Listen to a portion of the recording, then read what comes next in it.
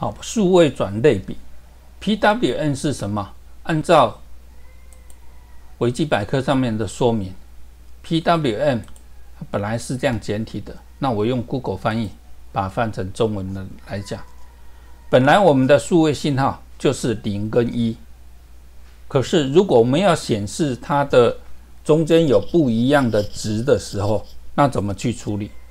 那我们利用的是平所谓的数位信号的用一个时间值，像这里很细，啊，这里比较宽，这里比较宽，这里很细，就是利用它的宽窄来取得一个平均数，这就是所谓的数位转类比信号。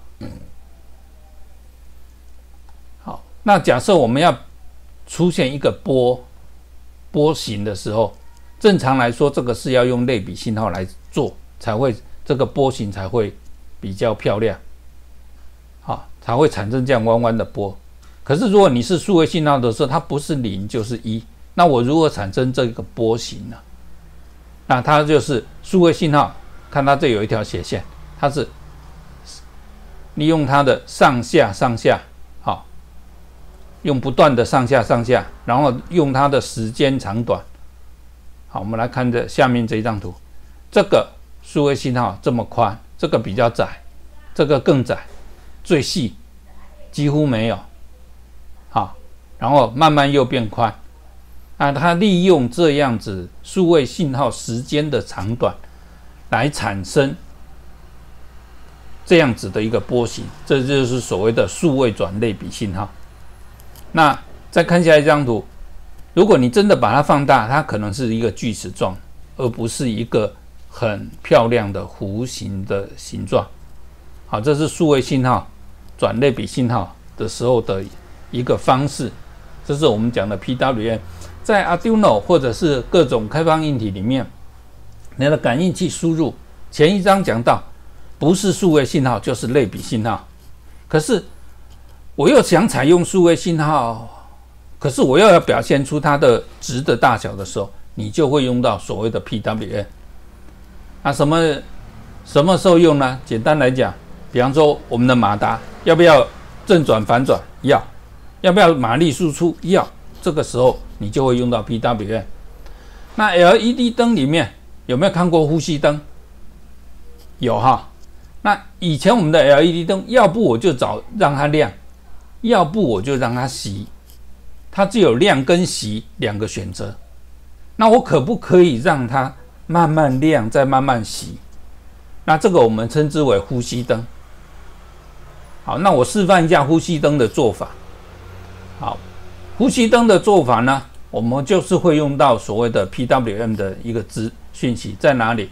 正常我们在这里，我们只能显示让它亮或者让它熄，没有办法。让它强调这个 LED 灯的亮度，所以我们在什么？呃，灯光这边，它这边有所谓的，啊，绘制哪一个灯的亮度，在灯光更多这边绘制哪一个灯的亮度是多少啊？最大是二五五。那你说这个值为什么是二五五？啊，有些 PWM 的值会更高一点，也不一定，那就端看这个感应器它的设定。好，比较常看到的是零到二五五，也就是两百五十六，两百五十六就是二的几次方。好，你可以想一下哈。好，它一定是二的倍数了哈。好，那我们来做一下，那。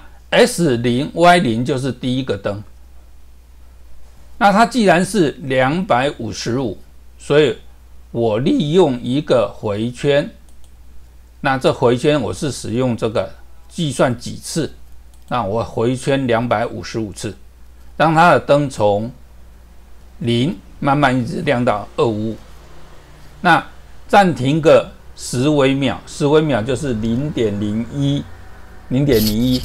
一秒等于一千微秒，然后暂停一秒，显示一个这个灯。好，我们来看它的作用的方式。